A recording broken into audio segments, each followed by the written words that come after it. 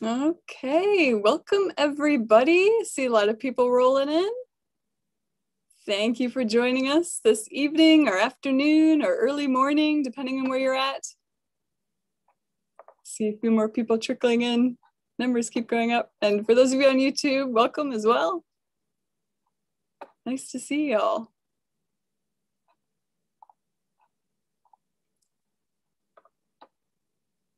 Still a few people, still going up. I'm gonna give us just a few more minutes and I'm gonna get started here.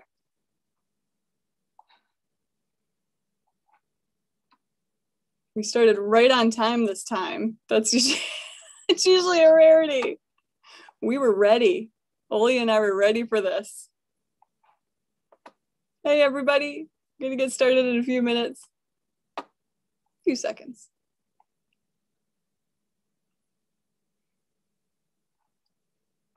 All right, okay, we're slowing down a little bit. Okay, all right.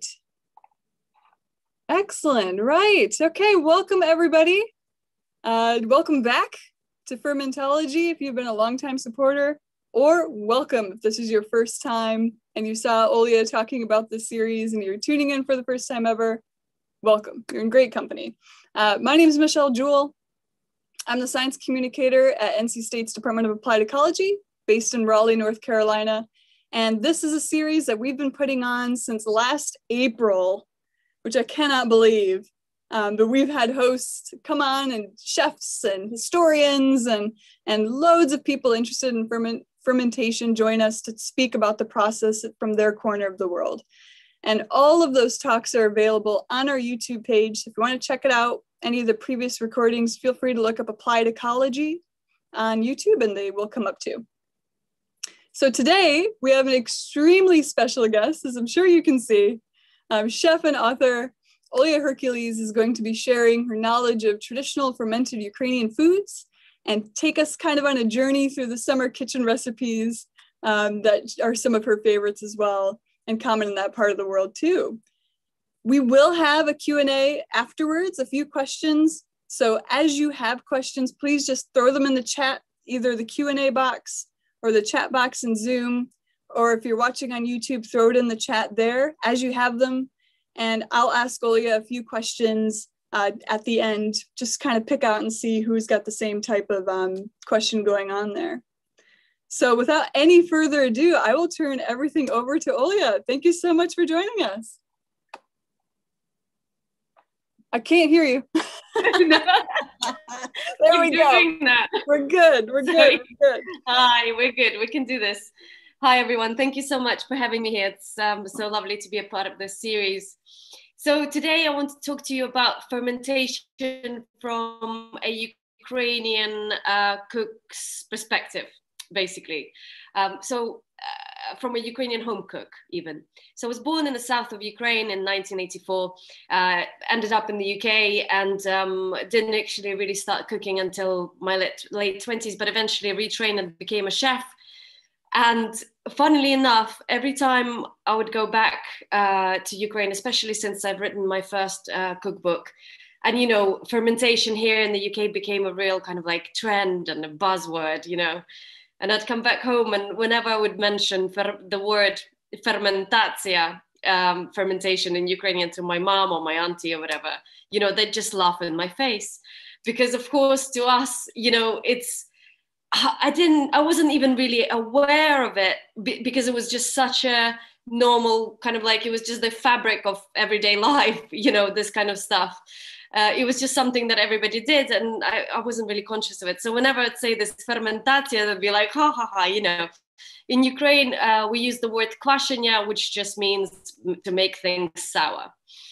And that's what people have been doing for well hundreds of years i suppose. Um, and my experience of it uh, sort of like one of my first kind of like childhood memories would be um, probably August, September, closest to September. And there'd be these, um, you know, almost like a pickling operation happening in the summer kitchen. I'll quickly explain what a summer kitchen is. So I, I wrote a book about it. Um, in all over Ukraine, there are these little uh, outhouses almost that people build. Uh, so you've got your main house and then there, you've got a separate little house, which sounds glamorous, but it's you know it's literally just one room inside, and that room is a kitchen. And there, people cook all throughout the summer. They do their everyday cooking, etc. It's usually positioned a little bit closer to your, I say garden patch, but really people have small holdings, like it's a big vegetable patch. And in these kitchens, apart from just doing your day to day cooking, you would also be doing all of the pickling. So, like this really huge operation in um, in the summer, uh, especially in September, once you've kind of like you've got your glut of vegetables or fruit, and of course, you know we lived very seasonally, so you couldn't just pop into a supermarket in the winter and pick up a tomato. You know, you had to um, preserve everything that you would have grown, and of course, uh, we had this you know delicious fermented food all throughout winter and um, with summer kitchens um, i've got this the first um, chapter is actually called the september sessions. And uh, it, it, you know it's a strange thing to open a book with a pickling chapter. Because normally you'd go from your breakfast to whatever and then cakes and then at the end maybe you'll get a little bit of pickling but to us it's um, it's such a central thing and such a central thing to this uh, tradition of summer kitchens that I've put it at the front. Um, so for this book, I've traveled all over Ukraine. Uh, Ukraine is huge; it's it's bigger than France even, um, and uh, kind of traveled from region to region to find um, recipes and people's stories. And of course ukraine is actually extremely diverse. You know people always say oh it's all about potatoes and um, dumplings and cabbages which are great all of those things and they do exist of course. But it's also a very varied uh, it's it's a it's a varied culture and and, and eating culture as well uh, very diverse but they all have this summer kitchen in common and they also have all of these wonderful pickles. I'm just going to kind of like show you some pictures from the book and um, show you different pickles from different regions and just talk about them a little bit. And then um, I, I also want to tell you a little bit about how we use those pickles because of course we use them simply um, as an addition to your meal, you know, a pickle on the side, but we also use them to cook with.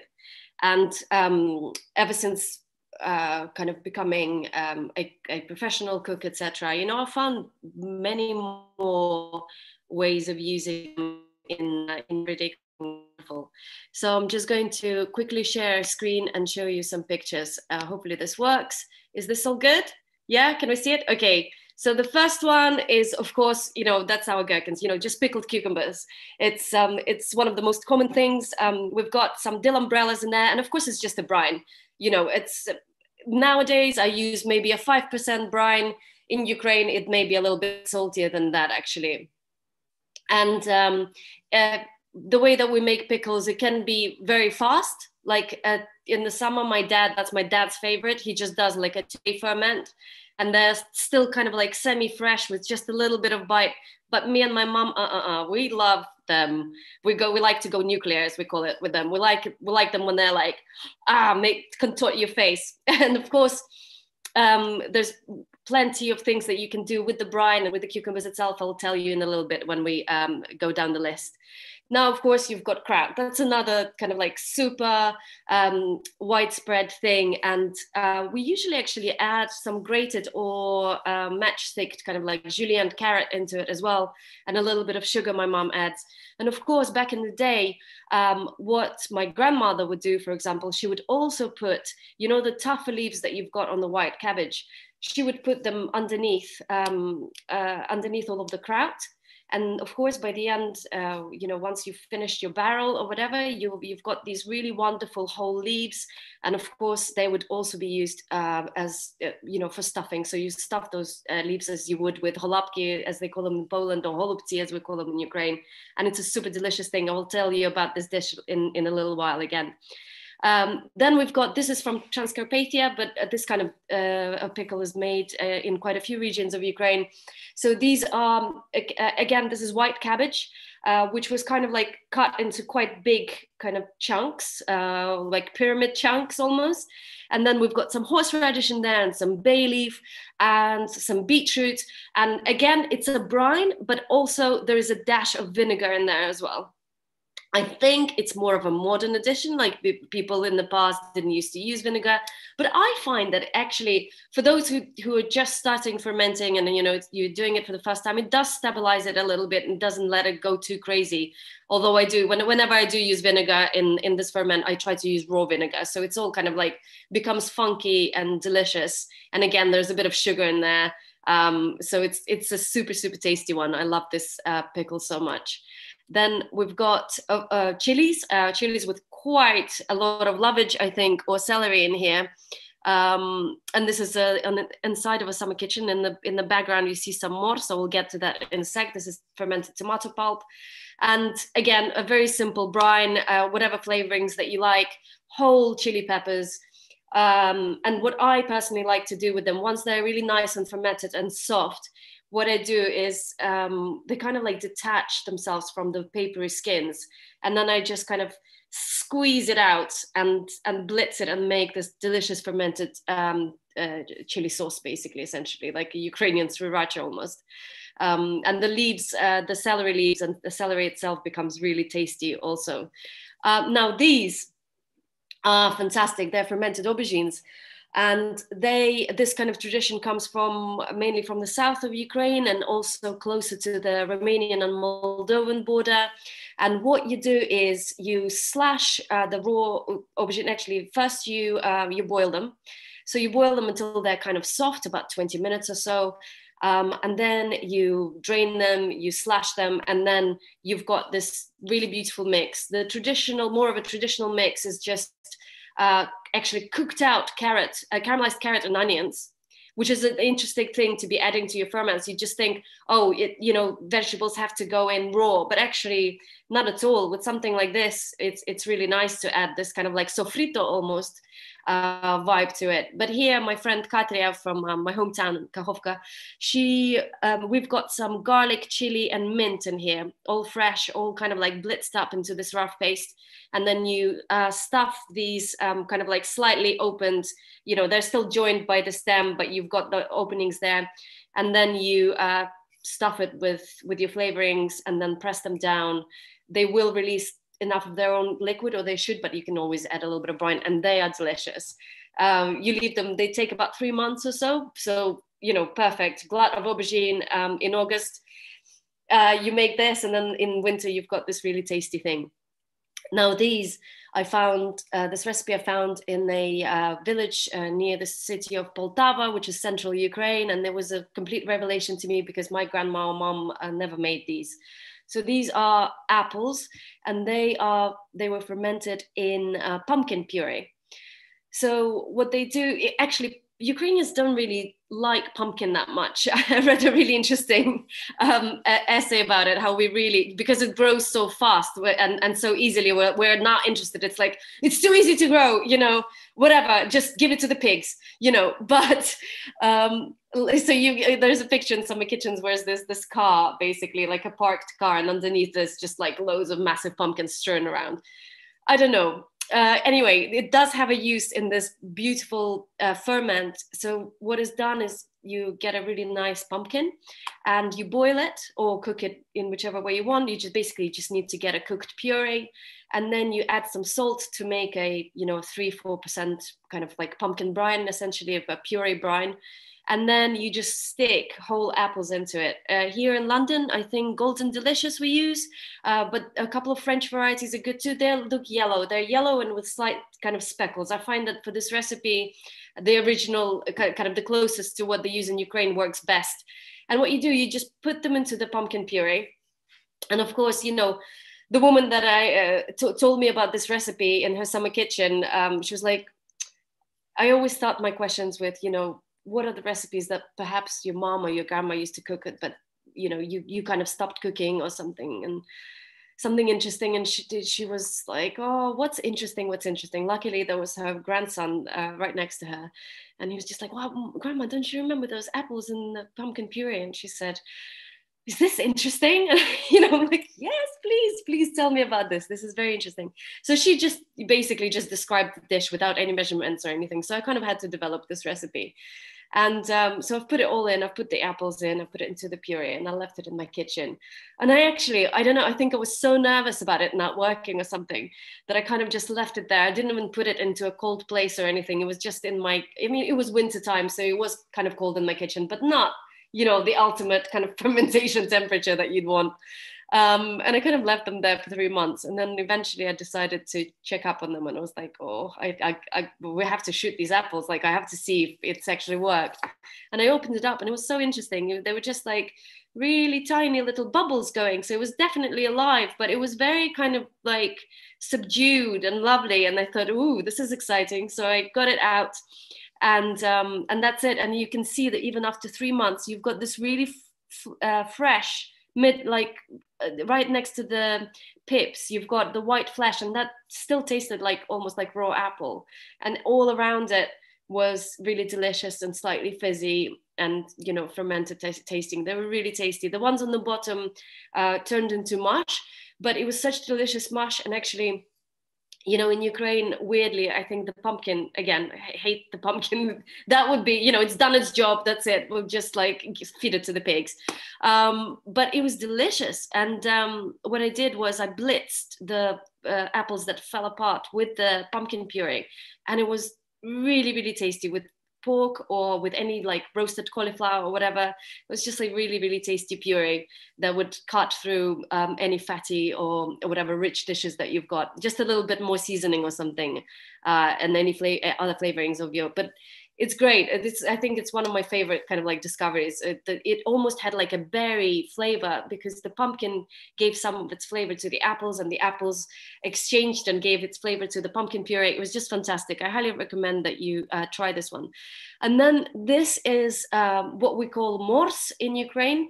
In Russia, um, mors, the word mors is used for a berry drink, interestingly, but in Ukraine. Um, we call fermented tomato puree mors. And what you do is you can either blitz your tomatoes straight away and just ferment them in this form, but what what uh, you know my family does is you kind of almost tear or you know cut your tomatoes and kind of like squ- squash them a little bit and add uh, you know an uh, amount of salt per tomatoes whatever you know you just kind of like make it up i guess. I, uh, people really don't measure things very much. You just like you just know how much to put in so you, you put the salt in, you mix it together, cover, if it's summer, like I would cover it with something so the so insects can't get in there, obviously. And then you just leave it for a couple of days. And if it's hot, like within a, a day or two, they'll be already kind of like bubbling up a little bit. And then uh, you use it in so many wonderful things. Um, you can use it to make a sauce. You can use it, traditionally it's used to add sourness to borscht um, so especially to a winter borscht, uh, you would add a little bit of this uh, tomato pulp. But I think in modern cooking, you can find so many wonderful uses for this kind of thing. Um, yeah, it's a really cool thing. You have to kind of like watch it because after a while, if you don't put it into a cold place, um, it can become quite alcoholic. So you don't want this to happen. Ditto with the apples, by the way. So just watch out. don't turn it into alcohol. And then these are amazing. I love these so much. So again, uh, closer to Moldovan and Romanian border, uh, where my actually two of my great grandmothers were from. Uh, it's called the Bessarabia region of um, Ukraine. Um, and it's kind of like if you know where Odessa is by the Black Sea, it's um, it's west to the west, a couple of hours to the west. And um, these are fermented peppers. And again, you make a kind of a sofrito with uh, onion and um, carrot.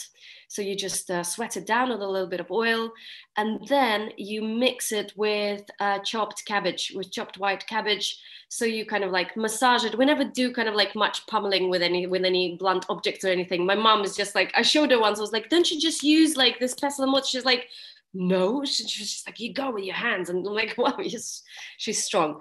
Um, but you you know just lightly massage it. It's fine. You don't have to go crazy with it. And then you just stuff these peppers basically. And again you just put them into a large jar or your fermentation crock or whatever you're using and uh, put some uh, brine in. Again, four five percent brine works really nicely. And then whatever else you've got lying around, if you've got some cherry tomatoes or you've got some garlic cloves or celery or even little cucumbers, like people just put like a jumble of things in there. Uh, always with uh, dill seeds and maybe some allspice berries as well. Um, and then you, again, you just leave it for a few days in the warm kitchen until it starts fermenting. And then you just, you know, in Ukraine, you take it down to a cellar. And then they, it's a really, really tasty kind of like pickle. I love it very, very much. Um, and these are a little bit more unusual. So these, this is uh, uh, physalis, which I I guess in America, tomatillo is its uh, cousin, the, the Mexican tomatillo. Um, which I, uh, I've done it here in the UK, so I couldn't find any physalis, so I've tested the recipe using tomatillos and you would ferment them in exactly the same way as you would tomatoes. Uh, so you just pop them into a brine and put whatever flavorings you want, and then you get this really delicious, uh, like you know, it pops in your in your mouth. My mom calls them champagne tomatoes. Um, just a really really tasty uh, pickle as on its own, or you can also d- dice it up and make a little salsa, um, and it works really really well uh, now we've got these guys. So in Ukraine, we ferment everything. You know, everything we find, we just we just ferment it. Whatever you've got a glut of. And of course, in, in the south where I'm from, it's super hot there in the summer. We've got these, uh, you know, watermelons everywhere. Uh, after the Second World War, for example, there was a shortage, big shortage of sugar, but there was enough watermelon. So people started making this thing called bekmez, uh, where you take watermelon pulp, get rid of the seeds, and you just basically, like you would do with pomegranate molasses, people used to put it into these massive pots outside uh, and over fire with like a nor of a spoon. You just like reduce it down. No sugar, obviously added. It's just uh, watermelon juice reduced into this what we call yeah bekmez or watermelon honey. And they and that's what people used in their like sweet baking and stuff. And it's uh, really interesting. I did it once. So I, I, had like 20 kilos of these massive watermelons. Uh, we got about 14 liters of juice out of it and then we got about 500 milliliters of this watermelon honey. And uh, the and the flavor was amazing because um, it actually started smelling and tasting of pumpkin by by the end so interesting. But yeah so these are fermented watermelons. Normally traditionally they would be in massive uh, wooden barrels. These days people just put them into whatever containers they've got and you just put them in whole. You just make some holes in it. Sometimes you put them into uh, a just a brine and then keep them there for about three four four, four months. Um, and sometimes people make a brine out of the watermelon juice. So you'd get the small watermelons that you'll have would be actually put in whole. And then the big ones you'd you know uh, get the pulp out uh, you know get the juice out and then mix it with salt and put that over the watermelons. And uh, in Ukraine, you just eat them as a pickle, as a bit of a vodka chaser, basically. But interestingly enough, and I thought, and you know, it was a bit of a wild card, card recipe. I'm like, who the hell is going to ferment watermelons in the UK or the US or whatever? Um, you know, my granddad, for example, used to actually ferment them in the bathtub uh, outside. So outside, they had weirdly, they had this big bathtub, and he would fill it with little watermelons and then pour brine over and that's how he would do it like cover it with something so the insects don't get there. But yeah interesting. But so um, a really uh, great uh, couple in california actually andrew chung and his partner um, they fermented one watermelon in the bucket. I was so proud of them. It was such a fun lovely thing and they made some cocktails with it i, I believe margaritas or something um, so you know why not yes if it's a vodka chaser in ukraine why not why not make a, um, a great cocktail out of it. So hopefully some people will make, you know, will make use of this recipe and, and try it. It's cool. It's, it's an, it is probably an acquired taste. Um, you know, but I love it. It's it's a little bit salty, a little bit sweet, um, and overall really pleasing. And the rind obviously is edible and really delicious. Uh, this is just a quick uh, thing. This is not obviously a vegetable or a fruit. This is actually baked milk. I don't know if um, uh, our audience today have heard of ryazhenka, which is a, um, a ferment, a, a, baked milk, kind of like uh, yogurt, essentially. So what you do is you uh, put your if you can get obviously raw milk that's the best kind of thing. Um, if not uh, unhomogenized is good. And then you would um, put it in the oven a low oven uh, i don't know what in fahrenheit it would be kind of like i would say 100 degrees celsius or something maybe just a little bit over.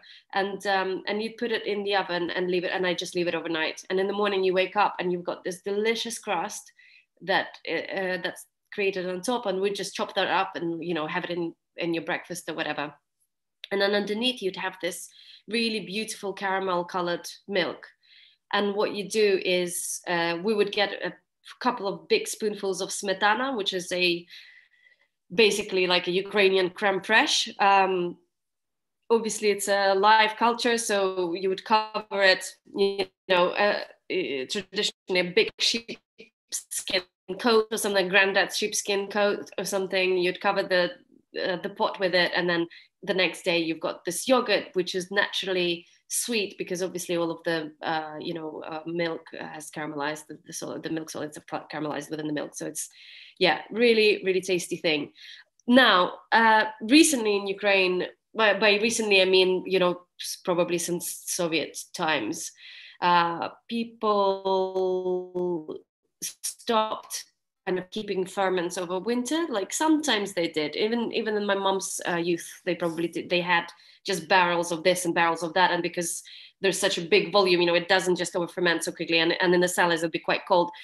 People started fermenting recently, and then they can it. So obviously they ferment it, get it to the stage where the flavor is quite pleasing to them, and then they kill the fermentation process by boiling everything, and then they just put it into jars and can it and this way it's because people as i say like when i was little we had no idea about the health benefits. Absolutely no idea. We with you know for to us it was just like oh it, you know pickles like my uh, my mom would be would say oh stop eating you know too many gherkins or whatever. There's salt in it. Because in the 80s everybody thought that salt was the enemy. So we had absolutely no idea. And what people got used to and really loved was the flavor i think. So you know um, yeah, you just boil it off, put it in a, in a in a jar, and seal it, and they will last you for a couple of years, really. but um, but people still do have barrels and do that kind of stuff, um, but less and less so, I'm afraid. Again, just quickly through some recipes. So this is kind of like a dandy uh, cousin of bigos, I suppose. Uh, it's my mom's recipe. So originally, I think she used something like a pork knuckle, but here I've got pork belly and it's um, pork belly roasted on a bed of kraut and the kraut has been mixed with some apples and some uh, some raw apples and onions some prunes some uh, dried apricots uh, caraway seed coriander seed. So it's super aromatic and delicious and obviously all of the pork fat gets cooked into the kraut. Oh, it's it's a really nice dish. Um, this is again a soup clo- that we make closer to the romanian and moldovan border. Um, and it's a, uh, another interesting thing. So I haven't talked about kvass. Of course, we make beetroot kvass all, all over Ukraine and use it in um, again to add color and sourness to borscht, etc. But um, near the Moldovan border, they make a confusingly a fermented liquid, which is called borscht as well, which which is not you know of course it's not a soup, but it's also called borscht, and it's a um, you basically get some maize flour and then you uh, mix it uh, with some you make kind of like a mush with a little bit of water let it ferment almost like you would be making a, a, a sourdough starter or something like that. And then you would dilute it you know you'd add warm water to it and then uh, some lovage and some other flavorings. And basically, you'd get this fermented maize water essentially. And it's used quite a lot to add sourness to different dishes, including this uh, chicken soup with homemade noodles and mushrooms and chicken. Um, and then this is uh, called dohirkivka in Ukrainian. And this is when I mentioned that we use um, gherkins in soups. So in Russia, in Russia, they've got the rasolnik, uh, which is normally made with pork, kind of like pork rib stock and pearl barley or something, or, or buckwheat and then at the end you would grate the uh, gherkins and also add a bit of the gherkin juice at the end of cooking to add you know to cut through the fat and add this really delicious sourness. And this is a vegetarian version in the book which is called dohirkivka and it's like a mushroom a rich mushroom broth again with uh, pearl barley. And instead of grating the gherkin i've sliced it which worked really nicely so it's a really great, and that's of course creme fraiche on a big rye bread. because we, well, yeah, we love creme fraiche so much. Um, and you know the leaves that I mentioned before, the um, cabbage leaves that we keep underneath all the kraut. Well, this is a really old recipe of my grandma, and I don't know why it went off the radar. By the time I kind of came along, she never really made it anymore. So it, was, it, ha- it, has this like legendary feel to it. My mom always talked about it, but um, I've, I've never tasted my grandma's version. So from my mom's stories, I've kind of recreated it. Um, and it's the fermented cabbage leaves, uh, which are actually quite soft by the time they've been there for a couple of months or so. And then um, I've actually uh, cooked some pork. You know, it's it's leftover kind of like pulled pork essentially, um, and some grain. So I think I've got again I've got pearl, pearl barley here. And then you mix them together, season it really well, wrap it in the leaves, and then you make a sauce with mushroom stock uh, and um, creme fraiche again, and loads of garlic and butter and then you basically pour this sauce over them. And then if you have one a wood fired oven that's kind of the traditional way of doing it. And this is where this has been done but it can be done in the normal oven as well. And then you just put it in. And when you put it in like it's full of sauce and you think oh my bloody hell like what's going to happen with all this there's too much liquid? But they absorb all of that sauce. And in the end they get like really but like um, kind of like a little bit burnt on top which is just it's such a delicious dish. I really really love it and finally, um, again, what to do with your ferments. So I've got my fermented apple here. I've got a little bit of the gherkin, fermented gherkin. I've got some kraut in there too. It's like a salad. You can also add a little bit of um, a fresh apple for, for to add a little bit of freshness and a bit of shallot or thinly sliced onion and a bit of something kind of like quite toasty uh, flavored oil. So we use unrefined sunflower oil in Ukraine and uh, but sesame oil or something like would work really well too. And it's um yeah it's just like a really nice winter slaw essentially. Um yeah so this is kind of like an overview of uh, the things that i really have loved in the you know all my life and in the last couple of years. And um, i really hope that you enjoyed um, while listening um, and can try it yourselves as well Absolutely, we enjoyed listening. Thank you so much. It's brilliant. I'm so inspired to go out there and just. I need to put a watermelon in a bucket. I know, it. right? Like you got just, you got to do it. Do it this summer. Like it's it, it can be done. That's great. And we do have a few questions in here, and I'll I'll give you guys um just a little bit of time to th- go ahead and throw your questions into the chat or the Q and A. But a few people had questions about your temperature management. So right say you're working in a place that's really really hot like north carolina can get mm. how do mm. you manage that with, with your fermentation process uh, right so you just have to kind of watch it and as soon as you see like because in ukraine as well in the summer it gets super super hot so i've never seen in, if my mom was doing it in summer kitchen or whatever two days max it would be there sometimes even like a day and a half and then as soon as you can see bubbles and stuff's happening and of course you taste it and if it tastes good to you and it's come to that sour level that you are with, you know, for those gherkins, maybe I'll leave it for days. Thank you very much longer mm-hmm. before I put it in the cellar. And then as soon as you're happy with how it tastes, put it in the fridge. Okay. You know, not, not everybody obviously has a cellar these days. Uh, but but fridge is absolutely fine. Um, so yeah, and then you can keep it there for a few months. And of course, it will still keep fermenting, but um, you know what I found uh, very quickly, actually, I wanted to mention this. Mm-hmm. What I found quite hard when I started fermenting here in the UK, um, when I started cooking away from my mom, basically, I in Ukraine they just put everything into kind of like big to, to start the fermentation. They put it into big tubs, and she would put like a gauze over it, you know, like a muslin cloth or something, and that's what I did as well and every time I would get mold and like like it just wouldn't work. And I was just like what is happening? And actually then um, there was this I had this uh, talk on the radio with uh, Sandor and Sandor Katz was one of the panelists. And I actually asked him and I said you know what what is going on? Can you tell me? And he's like look, you are, you know, probably where your mom is, you've got this almost like a microbiome. Like if they're fermenting all the time and got all of this stuff going on, and probably in the countryside as well, you know, you've got all of these wild yeast and everything all around you. And if you're in the London flat, and you know, at that point, I probably didn't really understand that you really shouldn't over sanitize stuff. You know, I'd probably be like, oh, it's pickling, so I must, you know, really sterilize this jar. And it's like, don't use chemicals like don't don't use um, you know really hard detergents or you know of course like wash your jar and like put some hot water over it or whatever but you can actually overdo it and then you get all of the bad bacteria coming in. Uh, but now uh, I've got a bit of a microbiome now happening in my house, luckily. But my my, my husband is also doing uh, brewing from scratch, so he's he's like crazy uh, fermenter uh, with the brewing stuff.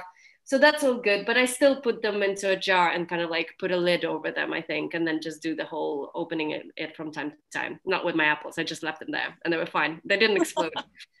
Between your fermentation and your husband's brewing, I want to come stay for a while. That sounds like yeah, please stop. We've missed people.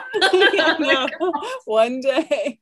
Um, another question related to the the temperature, and you touched on it a little bit, but that the process of cooking with these ferments does that right. do anything to that good bacteria does yeah that... yeah of course it kills it mm. completely like it's gone like kiss it goodbye right. unfortunately what what you can do like if obviously like if you add it at the very end and it's not boiling like maybe something will survive but then i don't know it's it's for, as i said before like for us we weren't really aware of the health benefits and mm-hmm the main uh, love and like the main thing that we value about them is flavor. So, right. you know, yeah, if you add the gherkin juice into the soup, it's bye bye good bacteria. But you know, it's still delicious, so it's fine. Just have like a little gherkin, a little fresh uncooked gherkin on the side to like help your microbiome, and then you're gonna be fine. Related to gherkins, so I don't know if you can answer this question, but I'm gonna go ahead and try. Let's try. What is your favorite pickle? Oh my god, that is a hard one. oh no, like a pickle that I would take to a deserted island type. Thing. Yeah, yes. What's a pickle that you would take to the deserted island? oh my god. Oh no, I've just made it like even harder. Okay. I don't know. I think definitely the whole fermented tomato situation is, you know, because you can do so much with that. You can kind of like turn it turn them into a drink you can use them as a salad you can make a tomato sauce they're kind of versatile and also just the flavor and the freshness of them is so good. But then another one the one that i actually in my practical life use the most is kraut. Mm. absolutely 100% kraut. Mm. and i'm working on this new recipe that because you know with lockdown and homeschooling one kid and then having like a baby as well which has been mad. Uh, you know all of the like massage my mom's massaging uh, no more. I'm not doing it anymore you know what? I'm, I'm going to tell you this. Okay, I'm not allowed to release this recipe yet. It's in my phone book, but don't do any pommeling. Don't do any massaging. You, you just you just cut it quite like thinly, mm-hmm. and then make a brine with a bit of salt and honey. Actually, so I've used honey instead of uh, sugar. And then you mm. just pour it over. You just pour the brine over the chopped cabbage. Like it obviously is going to be quite nicely, like tightly packed into the jar. You put the brine and put the holes and Just make sure that there's no air pockets and it comes out really it was it's been like our lockdown go-to recently i've got like a whole i got myself a really little fridge which is now the fermentation fridge and it's all full of this honey kraut i highly recommend it that's awesome that sounds great i'm gonna have to give that a try I'll go for it. And I'll give you one last question. There's so many questions in here. A lot of people are asking if these recipes are in the, the your book. Yes, that's yep, that's it. Kitchens, and it's available in the US. This is in fact the US edition, I think. I threw a link in the chat, so for those of you who want these recipes, they're in there. And um, the last question I ask you is about that puree process that you were talking yeah. about. Is it always pumpkin puree? Have other purees been used before? Uh, this is the only puree that I have encountered actually, especially with this apple situation. I'll tell you very quickly though, another um, way that apples and plums, oh, I didn't add the plum picture. I was going to talk about that. Um, so apart from the puree, another thing that is used or used to be used a lot in Ukraine traditionally is um, straw. So you'd get kind of like uh, oat and rye, I guess, straw, you know, the, the nice stuff, like not the dusty stuff on the road, like make sure that it's kind of nice and clean. And then you would get your either your plums, and this is very specific. We call it uhorka, which is like a Hungarian plum. I'm, I'm not sure what the American equivalent is. Uh, but you get these plums and you would um, layer them in your barrel with uh, with the straw in between and of course the straw eventually will give you some flavor as well i think it, it would have been done so they don't get bruised or something mm-hmm. and then you pour the brine over And the same with apples. Sometimes also add mint sprigs into the apple and hay situation and the straw situation, and it's it comes out really well as well.